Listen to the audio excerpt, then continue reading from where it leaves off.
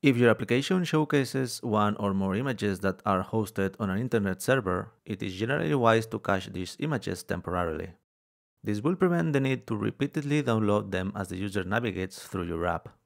For instance, consider a social network where users can browse their news feed, view post details, and save posts as favorites. Now, let's consider the implications of having to download the same image repeatedly. If the user had to download the thumbnail every time they scroll through the post list, accessed post details, or viewed their favorites list, it would result in unnecessary network resource usage and server overload. Also, the user will have to wait for the image to download each time, leading to a frustrating experience. In this video I'm going to show you how you can automatically handle this task by using the Cached Network Image package, which abstracts us from cache memory management. Let's start by creating a new Flutter app. Now I'm going to install the Cached Network Image package.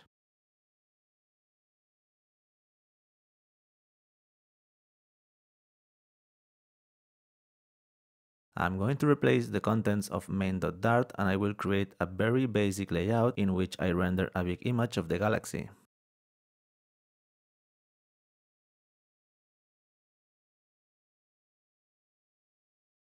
The first time that the Cached Network Image widget requests to render this image, it will download it from the internet and save it.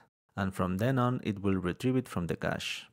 We can also set a specific loading widget via the Progress Indicator Builder parameter. It is also possible to define a widget that will be displayed in case the image load fails for any reason.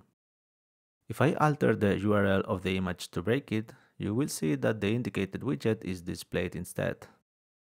As you can see, this easy-to-use package eliminates the need to store images downloaded from the internet, thus enhancing the usability and experience of our application. I hope this video has been useful to you. If this is the case, please give me a like and also leave a comment to hack the algorithm. Also, Watch this video to know how you can take your app to the next level by using the tutorial Coach Mark package to automate the process of teaching the user how your application works.